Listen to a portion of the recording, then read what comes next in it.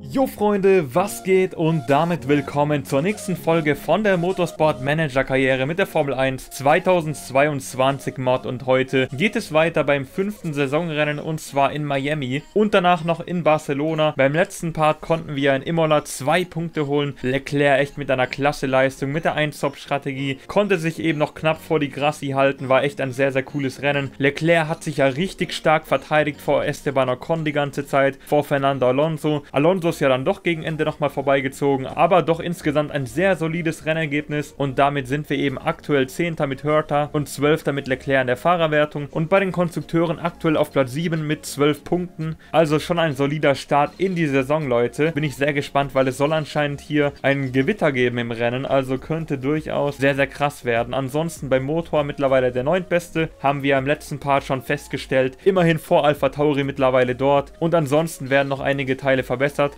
Die Motoren jetzt bei 74 und 75 Prozent. Das passt auf jeden Fall, Leute. Und damit würde ich sagen, legen wir los, starten in das Rennwochenende rein. Und ich muss mich nochmal mega bei euch bedanken. Die letzten zwei, drei Folgen haben so viele Likes und sowas noch mehr bekommen. Nicht nur über 40, sondern glaube ich mittlerweile über 60 Likes diese eine Folge, die vorletzte. Die Folge, wo ich eben in die neue Saison gestartet bin, die ist sowas von krank angekommen, wo wir eben Leclerc geholt haben und alles. Vielen Dank dafür an der Stelle, Leute, für das krasse Feedback. Es sind auch wieder einige neue Abonnenten auf den Kanal gekommen. Auf jeden Fall vielen Dank, dass ihr den Kanal hier abonniert habt. Ich finde es einfach geil zu sehen, dass es immer mehr Leute werden, die eben sich die Videos hier anschauen. Freut mich echt, Leute. Und bald steht auch eben schon der richtige Formel 1 Manager vor der Tür und eben auch das Formel 1 Spiel. Und das wird schon sehr, sehr geil werden, Leute. Das kann ich euch schon versprechen. Das wird bestimmt eine echt geile Zeit dann im Sommer. Da freue ich mich echt schon mega drauf, diese Spiele zu zocken. Wie immer nehmen wir eben bei der Gewichtsreduktion die maximale Leistung mit. Ich denke, ich werde dann einfach den Bonus für die weichen Reifen mitnehmen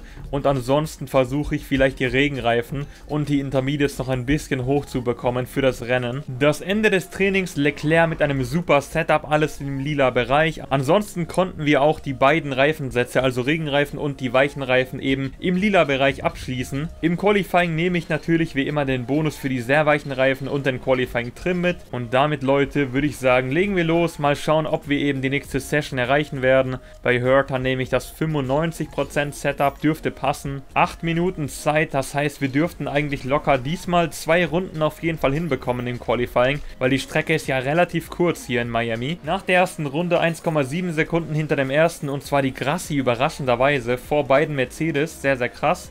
Aber sieht gar nicht schlecht aus, wir sind sogar vor Sainz der wahrscheinlich mit einer schwachen Runde, aber trotzdem halbe Sekunde vor Tsunoda. Mittlerweile leider nur noch auf Platz 15 und 19, heißt, wir schicke beide Fahrer auf jeden Fall nochmal raus. Leclerc gerade auch mit einer extrem schlechten Form, 1,4. Also schlechter geht es gefühlt kaum. Sehr, sehr schade. Ich weiß auch gar nicht, woran das liegt. Also könnt ihr auch gerne nochmal reinschreiben. Falls es noch niemand reingeschrieben hat von der letzten Folge eben mit der Moral, warum die eben so gering ist von Leclerc und von Hörter. Und eben warum die Form so schlecht ist. Ob man da irgendwas beeinflussen kann. Wäre auf jeden Fall gut zu wissen. Okay, zweite Runde. Leclerc ist sogar mittlerweile draußen aus Q2 leider. Drei Zehntel eben hinter Ocon. Und ich glaube, es wird keine Verbesserung. Beide Sektoren langsamer. Und damit bleiben wir auf Platz 16 18 und mit Hörter wahrscheinlich auf Platz 19. Ja, tatsächlich. Sehr, sehr schwaches Qualifying mal wieder leider. Nicht mal in Q2 weiter. Am Ende vom Qualifying ist Esteban Ocon auf Pole. Alles klar, was ist das denn? Mega Überraschung. Anscheinend hat es hier im Qualifying auch schon mies geregnet. Schade eigentlich für uns. Ich denke, wenn wir Glück gehabt hätten, wären wir safe in Q2 gekommen. In Q2 hat es ja auch schon geregnet und damit hätten wir es vielleicht in Q3 geschafft. Und damit hätten wir vielleicht sogar eben die erste Startreihe schaffen können, weil die Zeit von 1.16.8, damit wären wir sogar schneller gewesen in der ersten ersten Session. Ey, so schade. Hätte Leclerc es weiter geschafft in Q2, hätten wir vielleicht sogar eben die Pole bekommen können. Oder mindestens mal Platz 3 wäre, glaube ich, safe drin gewesen, weil der Abstand von Albon auf Verstappen sind einfach mal über 6 Sekunden. Ach Gott, Leute, so schade. Das wäre safe die zweite Startreihe gewesen. Aber mal schauen, wie das Regenrennen wird. Das könnte auch noch sehr, sehr geil werden. Der Start aber erstmal im Trockenen. Die wollen uns doch echt verarschen, Leute. Wir haben extra extra den Bonus für Regenreifen und alles, aber es fängt erst so ab Runde 20 an zu regnen. Also gefühlt nur so maximal 9 Runden werden wir sowieso mit den Regenreifen fahren. Keine Ahnung, man könnte es vielleicht versuchen, ohne Stopp bis zum Regen zu warten, aber dann müsste man halt schon mit den härtesten Reifen starten und das wäre halt nicht ganz so optimal. Ich versuche es aber, glaube ich, trotzdem mit Leclerc zumindest mal das Ganze. Leider eben nicht den Bonus für die harten Reifen, weil das wäre echt jetzt sehr, sehr wichtig, aber habe ich leider nicht mitgenommen. Bei Hurter mache ich einfach das andere, starte mit den Soft, Hurter von Platz 19. Der Start war ganz in Ordnung. Leclerc mit Platz 16 nach wie vor. Colton Hurter auf Platz 19. Oh, was macht denn Hurter? Der fährt ja komplett raus, Leute. Ach, Katastrophenstart hier. Einfach 5 Sekunden verloren. Dauernd war Leclerc derjenige, der Fehler gemacht hat. Jetzt plötzlich Hörter am Start komplett rausgefahren. Ja, perfekt. Leclerc immer noch 16. Ich gehe schon mal auf konservativ, damit er schön die Reifen schonen kann. Alonso ist einfach mal erster, Bottas zweiter, Albon dritter. Alles klar, Leute. Das wäre eigentlich so ein Rennwochenende gewesen, wo wir locker in die Punkte hätten fahren können bei so einem Chaoswetter. Ich hoffe, wir haben ein bisschen Glück mit der Strategie mit Regen, aber mal schauen, was am Ende so geht. Ja, perfekt. Wir verlieren leider den Platz. Damit auf Platz 17 nur noch hinter Latifi zurückgefallen und Hörter kommt dem Feld kaum hinterher, leider. Der Regen fängt ja direkt richtig stark an, sehen wir gerade. Und zwar so Runde 16, 17, 18 ungefähr in dem Zeitraum. Und dann schüttet es ja komplett. Heißt, mit Leclerc dürfte die Strategie eigentlich ganz gut sein. Mal schauen, ob die Reifen so gut halten. Bisher das einzige Problem leider wie immer die Temperaturen bei den Reifen. Leclerc jetzt wieder auf Platz 17 nach vorne gekommen, an Latifi vorbei, sehr schön. Bertha hat endlich auch gleich wieder den Anschluss und der übrigens mit dem Sieg beim letzten Indycar-Rennen und zwar in Indianapolis bei dem Straßenkurs, das hat er richtig geil gemacht. Da gab es auch ein extremes Regenchaos, sehr, sehr viele Boxenstops, viele Unterbrechungen und Hörter hat das Ganze eben gewonnen und Leclerc pacemäßig auch nicht schlecht unterwegs. Bin mal gespannt, was solche Leute wie Ju und Gasly machen werden strategisch, ob die auch eben das gleiche versuchen wie wir, bis zum Regen zu warten Minuten. Jetzt zieht Hörter endlich mal an Tsunoda vorbei, sehr schön. Damit immerhin 19. Mal. Aber der muss ja sogar noch einen Stop mehr machen, das ist halt das Problem. Leclerc auf Platz 17, hinter Ju die ganze Zeit schon. Ich denke, Stroll und Vettel werden auf jeden Fall einen Stop mehr machen als wir. Ey, das kann nicht wahr sein. Latifi zieht jetzt vorbei, weil die Grassi vorbeigezogen ist. Das wird auch interessant, aber ich denke, wir fahren gleich... Oh, Leclerc kommt wieder vorbei. Jetzt doch wieder Latifi vorne. Komm schon, setz dich durch. Das kann doch nicht deren Ernst sein. Jetzt fahren die wirklich nebeneinander. Komm, Leclerc, bleib endlich mal vorne. Ey, Albon war in der Box und kommt vor uns raus. Mit Hörter fahre ich, denke ich mal, jetzt in die Boxengasse mal rein. Am Ende auf Platz 20, haben aber doch durch den Stop so 10 Sekunden verloren. Boah, die, Re die Reifen von Leclerc schon wieder relativ kritisch. 42%. Ich muss bestimmt noch circa 4 Runden hier aufhalten. Jetzt fahren aber schon einige mit harten Reifen auch rein, wie Zhu. Das heißt, die dürften vielleicht einen Stop zusätzlich machen. Und das ist auf jeden Fall unser Vorteil. Intermediates ist bestimmt noch zu früh, genau. Die fahren alle auf Soft. Leclerc leider jetzt nicht allzu schnell, aber kein Problem. Passt schon, Leute. Wir wechseln dann einfach mal direkt auf die Full Wets, würde ich sagen. Jetzt halt leider die Reifen von Leclerc die ganze Zeit sehr, sehr kalt. Jetzt kommt hier der erste vorbei, Vettel. Und Ocon zieht auch fast vorbei. Jetzt mittlerweile Runde 17. Ich denke, am Ende von Runde 18 werde ich in die Boxengasse fahren. Oder vielleicht am Ende von der Runde schon. Könnte man sich auch überlegen. Aber ich glaube, das wäre noch ein Ticken zu früh. Die Grassi und Perez waren aber schon in der Boxengasse. Perez auf Fullwets, die Grassi auf Intermediates. Aber ich glaube, das ist noch eine Runde zu früh. Ich gehe jetzt mit Leclerc auf jeden Fall mal auf Angreifen. Er fährt dann am Ende der Runde direkt einmal auf Full Wets, würde ich sagen. Und damit haben wir auch schön den Bonus auf den Full Wets. Das dürfte passen. Also mal schauen, wie die Pace sich entwickelt. Aktuell 11. Wäre geil, wenn eben Punkte drin sind. Wird aber doch relativ schwierig. Perez dürfte jetzt ultra langsam sein, genau. Auf den Full Wets viel zu früh natürlich erstmal. Eine Runde zu früh vom Mexikaner. Aber jetzt fahre ich auf jeden Fall auch rein.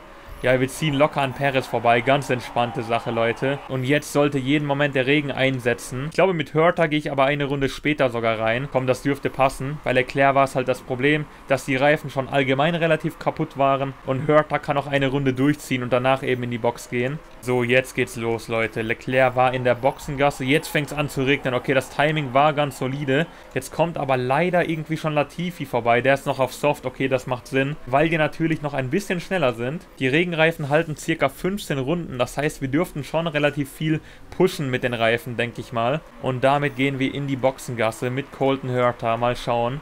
Jetzt wechselt auf jeden Fall jeder auf die Full Red. Sehr schön.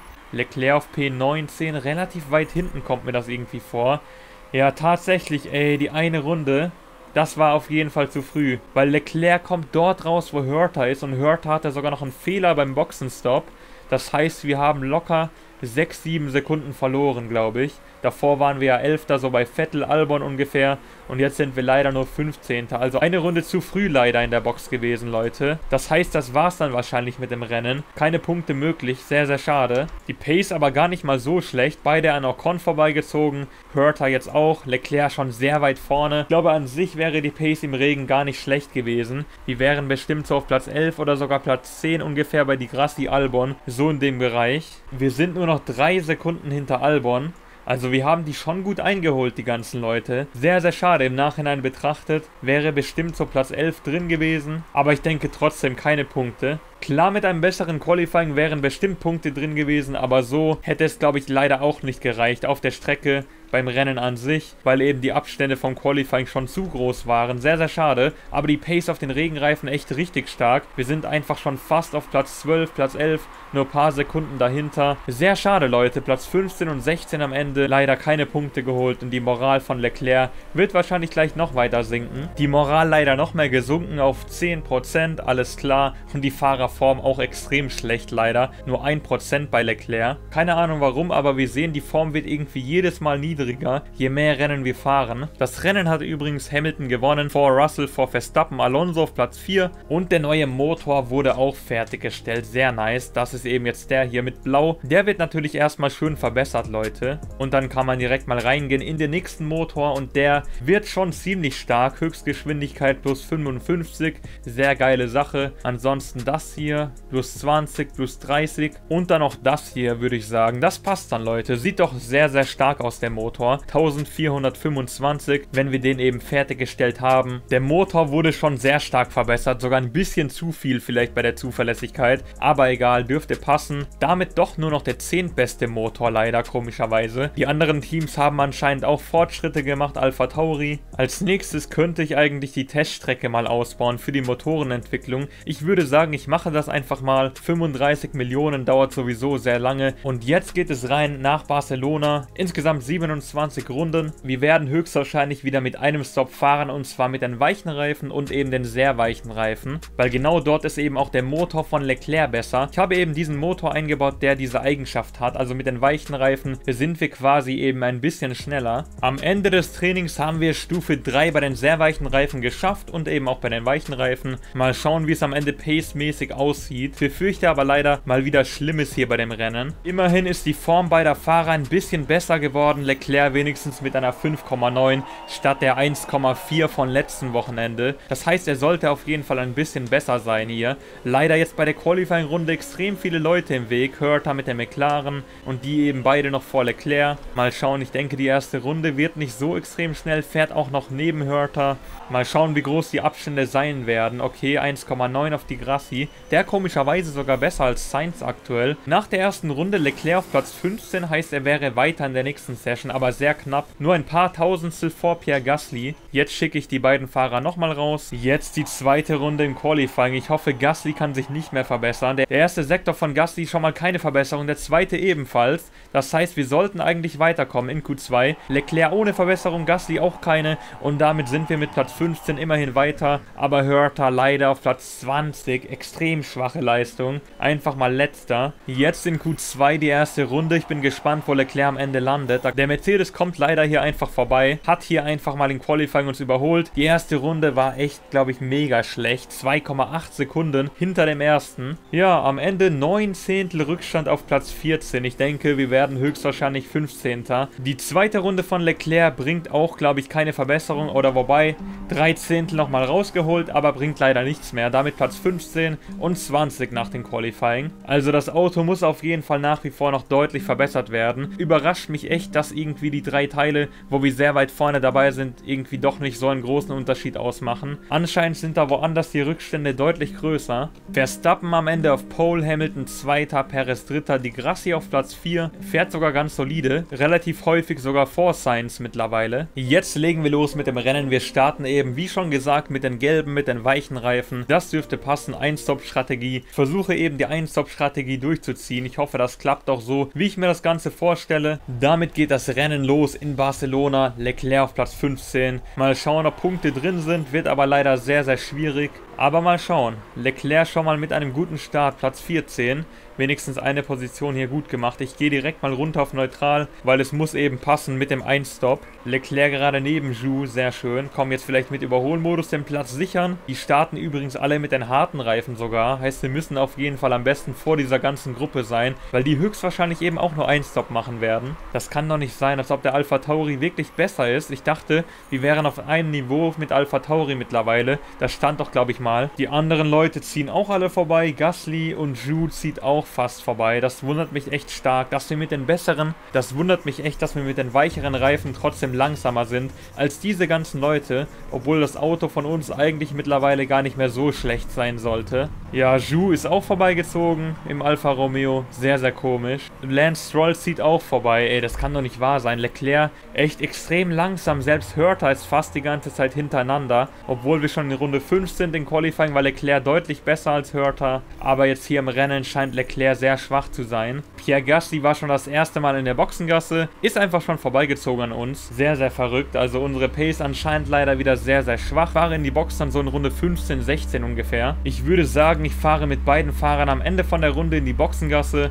dann eben auf die weichen Reifen. Aber wenn da noch irgendwie Punkte drin sein sollten, das gleicht schon ein Wunder. Also ich denke, es wird leider eben nichts mehr. Ah nein, ich habe vergessen, beide Fahrer in die Box zu holen, Leute. Perfekt. Kompletter Fail einfach mal. Aber egal, es sind sowieso wahrscheinlich leider keine Punkte heute mehr drin. Ich dachte, ein guter Fahrer wie Leclerc würde uns locker viel näher an die Punkte bringen, aber so viel besser ist der irgendwie doch nicht. Klar, besser als Hörter schon, aber irgendwie ist gefühlt das Auto von der Saison noch schlechter als das von letztem Jahr, weil Hörter konnte sonst immer so auf Platz 13, 14 fahren, dort wo Leclerc immer rumfährt und Mick Schumacher war eigentlich immer dort, wo Hörter aktuell rumfährt. Also eigentlich ist das Auto gefühlt sogar noch schlechter, obwohl wir näher dran sind. Sehr, sehr komisch, macht überhaupt keinen Sinn eigentlich, weil das Auto Auto sollte ja ein bisschen besser geworden sein von der Saison davor auf diese. Fängt anscheinend an zu regnen hier gegen Rennende. Aber ich denke noch ein bisschen zu wenig Regen für die Intermediates. Also ich bleibe einfach mal auf den Reifen drauf. Dürfte eigentlich passen mit den Soft bis zum Rennende. Aber unsere Pace sehr, sehr schwach leider. Oh, da hat Bottas einen Unfall gerade. Gelbe Flagge. Valtteri Bottas, boah, das Auto komplett hier in der Mauer. Aktuell auf Platz 14, es wird sich aber nichts mehr verändern leider. Damit in der heutigen Folge leider wieder keine Punkte geholt. Sehr, sehr schade. Dachte echt, da wäre mehr drin gewesen, aber im Endeffekt leider wieder sehr, sehr schwache Leistungen. Wir müssen echt unser Auto mal deutlich verbessern. Es geht halt leider immer relativ langsam voran, bis der neue Motor entwickelt wird und alles. Das dauert halt echt immer seine Zeit. Ja, schade. 14. und 18. Gewonnen hat Verstappen vor Perez, Hamilton auf Platz 3. Die Moral leider wie immer ein bisschen gesunken. Ansonsten der Teamchef Gene Haas Haas auch nicht wirklich zufrieden. Wir haben ja eigentlich Platz 8 als Ziel ausgewählt. Bei den Konstrukteuren immerhin noch vor Aston Martin auf Platz 7. Das nächste Rennen findet dann in Monaco statt. Ansonsten hier nochmal kurz die Fortschritte. Das zweitbeste Team bei den Bremsen nach wie vor. Beim Frontflügel leider nur noch das drittbeste Auto und beim Heckflügel das zweitbeste. Beim Motor, wie gesagt, eben nur noch der schlechteste komischerweise. Sehr, sehr schade. Ich muss echt mal irgendwelche Verbesserungen nochmal machen. Die Motoren dauern halt echt mega lange, 13 Tage, bis der nächste endlich mal mal fertig wird, Leute. Damit würde ich aber sagen, war es das mit der heutigen Folge. Lasst gerne wie immer nochmal ein Like da, abonniert den Kanal und aktiviert die Glocke, wenn ihr neu seid und keine weiteren Videos verpassen wollt. Also Leute, haut rein, bis zur nächsten Folge. Heute leider ohne Punkte und ciao.